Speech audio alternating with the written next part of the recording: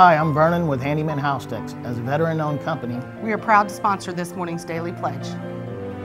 I pledge allegiance to the flag of the United States of America and to the republic for which it stands, one nation, under God, indivisible, with liberty